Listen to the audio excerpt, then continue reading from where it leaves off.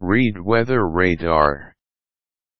Some people may get confused or hesitant about how to read weather radar reports, but it is very simple to do so.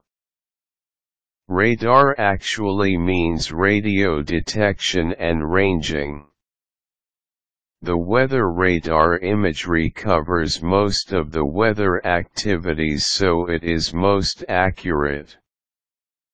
Here is how to read the weather radar screens.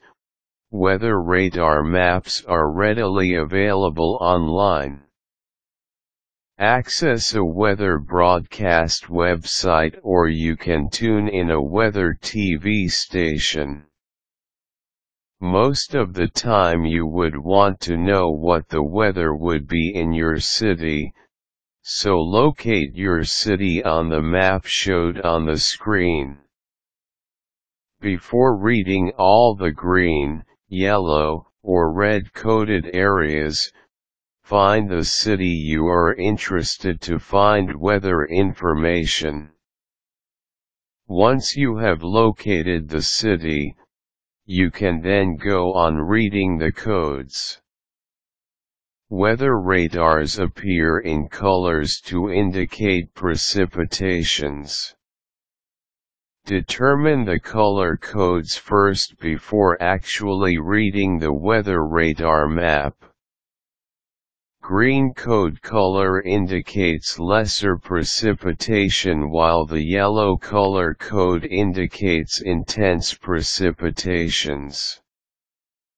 The color code red is indicative of the most intense precipitations.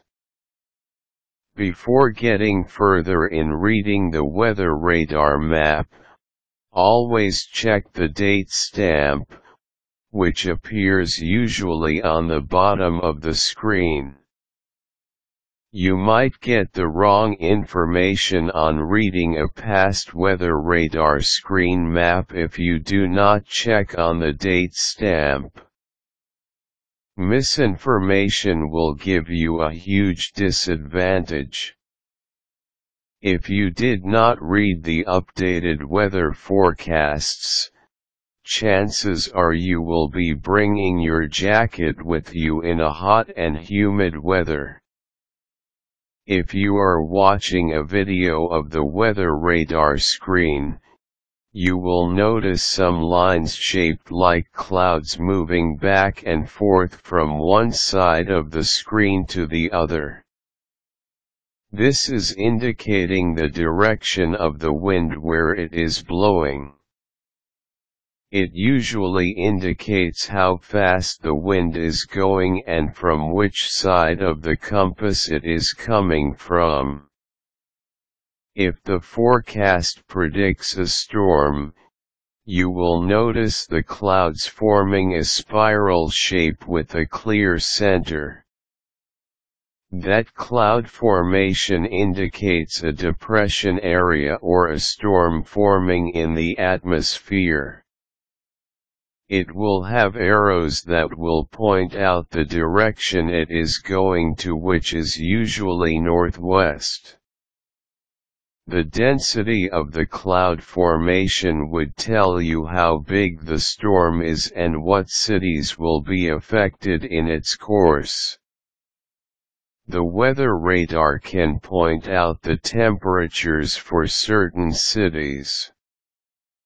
In the television version, they usually label the temperature. It can be in a table form or they just use letter codes. The most user-friendly codes used in the forecasts right now are the graphic codes. When you see a sun it can mean the forecast is sunny and the color code with this graphic is usually in yellow or red for a more intensified heat temperature. If the precipitation is cloudy, the graphic shown is of course, a cloud. The color code associated with this is usually the color green.